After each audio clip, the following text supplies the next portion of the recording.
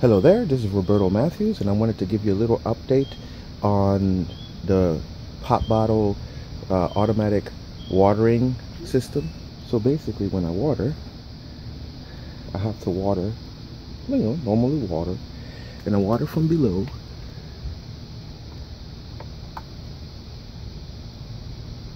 Just like this. And as you can see, it doesn't take too much water these little pots. But a plant this size, I would have to probably water every hour, once an hour. But with the pop bottles, with the soda bottles, I don't even have to water um, once a day. I could probably water, you know, every 36 hours or so. Especially like here, I have two plants being watered by one bottle. And as the plants um, soak up the water, it, uh, it slowly drains. And on a very, very hot day, it might drain in one day. Or on a cooler day like today, which is only about 85, 90 degrees, it might take a day and a half, or maybe two days before I have to water. Great for the plant because it doesn't get stressed by no water and it's great for me because I don't have to keep worrying about watering early in the morning.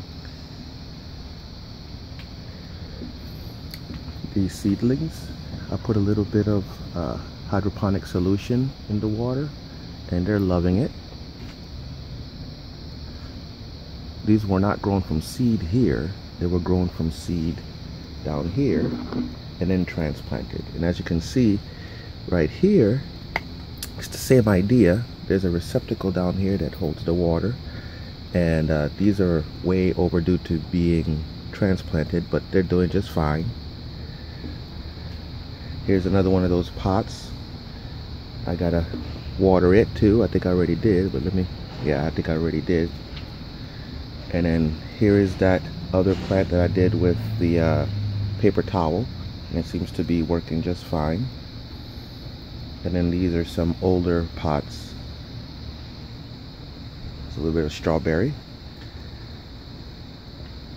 And this is going to be the future home of these.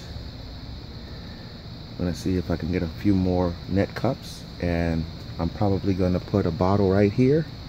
And it's going to water all of my plants as they need them so that's just a little update on how the pop bottle garden is doing as you can see I have some more pop bottles for the future and it's a great way to uh, to water your plants.